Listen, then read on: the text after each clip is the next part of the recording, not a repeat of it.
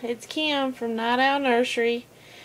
I'm back with another short video. I just wanted to let y'all see Baylee and her new little outfit that I got today for the one that I got for 50 cents.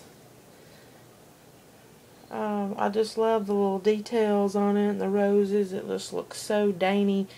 I love, this is my favorite stuff for a baby. It's real soft pastels with a lot of detail and stuff that looks really dainty. And she's got her big pink flower on and her white headband. And um, she's got her new little sandals on that I got her today. Um, so yeah, she just laying here looking so cute.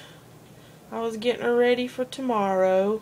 Um, instead of putting her PJs on, I just went ahead and put this little outfit on her, but I thought it was really sweet.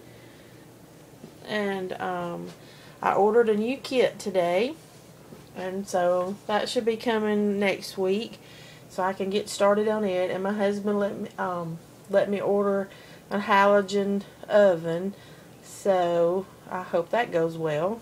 Um, uh, learning how to use it on a new baby, but um, she's an open-eyed girl, and so I'm looking forward to having her and uh, getting her done and painted, and and I'll share her with you all when I get her done. So, but anyway, well, we got a huge rain. I hope everybody that needed some got some. We got our tomatoes uh, staked just in time before the storm came through. So, but anyway, well, alrighty. Well, night night and sweet dreams from Night Owl Nursery. And I love you all. Enjoy your rest of your weekend. Bye bye.